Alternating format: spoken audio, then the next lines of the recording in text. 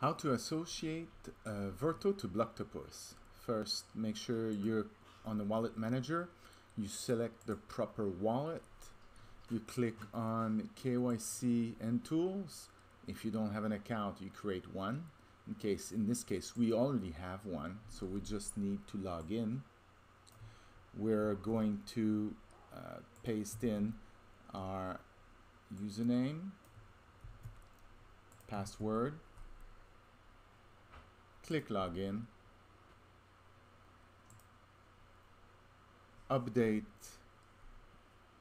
our config and we need to insert our password.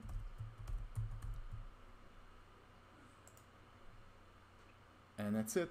We're done.